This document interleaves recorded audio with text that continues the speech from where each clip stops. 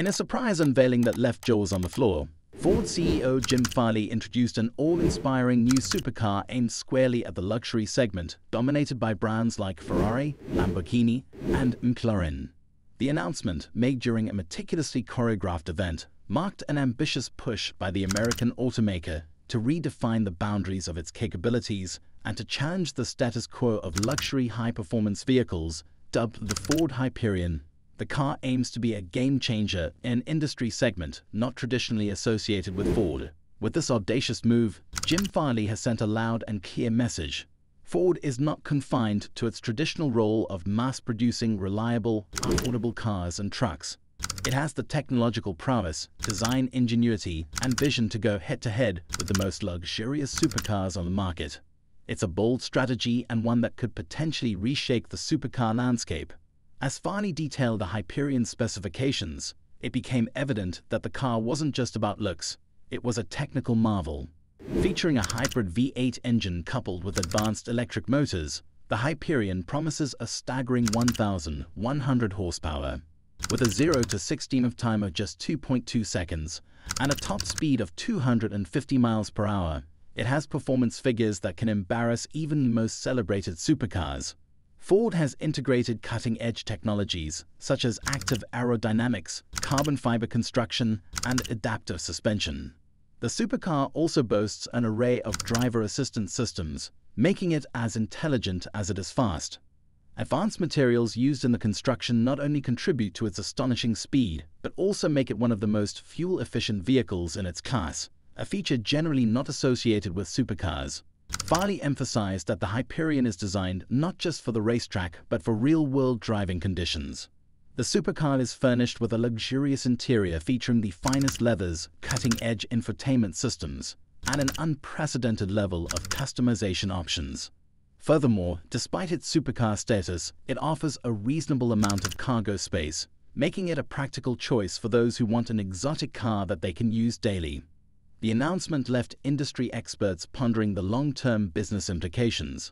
While Ford has always been a force to reckon with in the automotive sector, it has never ventured so ambitiously into the luxury supercar market. This move is not just a shot across the bow of luxury carmakers, it's a full frontal assault. If successful, the Hyperion could bring in substantial profits, given the high margins in the luxury segment. But more than that, it could redefine Ford as a brand capable of producing not just mass-market vehicles, but also exclusive, high-performance machines. It's a gamble, but if it pays off, it could be a watershed moment for the American automaker, attracting a new demographic of wealthy, performance-hungry consumers to the brand. But challenges remain. Breaking into the luxury supercar segment is not just about horsepower and looks. It's about pedigree, brand allure, and a history of high performance. Brands like Ferrari and Lamborghini have a story history that's deeply embedded in the world of motor racing and luxury. Convincing consumers to opt for a Ford over these established brands will be an uphill battle. Moreover, developing and manufacturing a supercar is a costly endeavor. Ford will have to invest not just in technology, but also in marketing brand development, and perhaps most importantly, in building a network of after-sales services that can meet the high expectations of luxury car owners. Part of what makes luxury supercar brands so aspirational is their legacy, the stories, the characters, and the historic milestones that have made them legendary.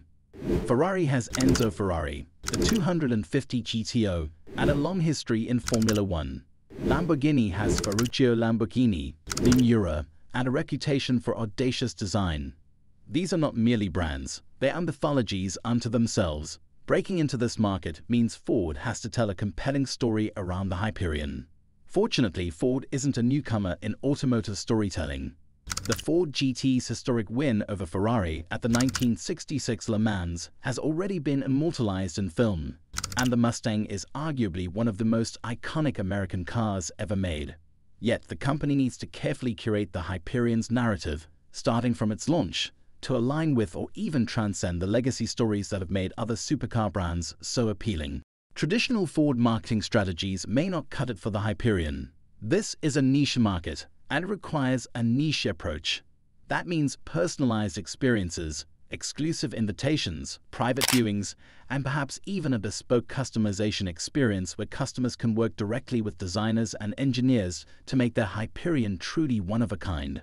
Moreover, tapping into the world of motorsports, art, and luxury lifestyle collaborations could provide the much-needed catch-it that the Hyperion needs to appeal to this specific clientele. Think Hyperion editions co-designed with high-end brands, be it watchmakers like Patek Philippe, fashion houses like Louis Vuitton, or tech companies like Apple. It's not enough to just sell an extraordinary car, the entire customer journey must be exceptional. The dealership experience should be an extension of the luxury and exclusivity that the Hyperion embodies. We're talking about more than just high-end showrooms. Think along the lines of a personal liaison who's more like a concierge than a salesperson, responsible for guiding the customer through every aspect of ownership. The same high level of service should continue through the entire life cycle of the car. Luxury car ownership comes with high expectations for after-sales service, and this is an area where Ford will need to invest heavily. The company must consider everything from exclusive service centers to mobile mechanics equipped to handle the most intricate technical issues on the spot. While the Hyperion could be a game changer for Ford, it's also a massive financial gamble. Development costs for supercars can run into the hundreds of millions, and that doesn't include the ancillary costs of marketing, brand development, and service infrastructure. The limited customer base also means that Ford can't rely on volume sales to recoup costs. The company will have to bank on high profit margins per unit and the halo effect the Hyperion could have on its other models. The latter is particularly important. If the Hyperion can elevate the brand's status, it might lead to increased sales across Ford's range thereby indirectly justifying the Hyperion's steep development costs. Jim Farley's unveiling of the Hyperion not only impacts Ford, but also sends ripples across the broader automotive industry. Until now, traditional luxury automakers had the comfort of not worrying too much about the likes of Ford when it came to their supercar segments. Now, however, the lines are blurring, and the disruption can have far-reaching implications. If Ford successfully breaks into the luxury supercar market, it will force other automakers to reconsider their strategies. The fear won't just be about losing market share, it will also be about the potential rebranding of what it means to be a luxury or performance vehicle.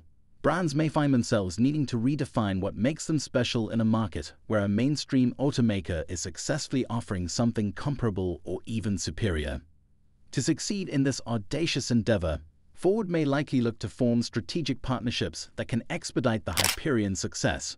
This could include collaborations with tech firms for enhancing autonomous driving features, partnerships with renewable energy companies for advancing its hybrid technologies, or even joining forces with luxury lifestyle brands to offer unique customer experiences. After the buzz of the unveiling settles, Ford will have a monumental task ahead. The Hyperion will have to go through rigorous testing, both by the company and independent reviewers. Given the expectations set by Farley and his team, Anything less than extraordinary will be a letdown. The automotive world will watch each stage critically, from prototype testing to the first customer delivery. Meanwhile, the competition will not be sitting still.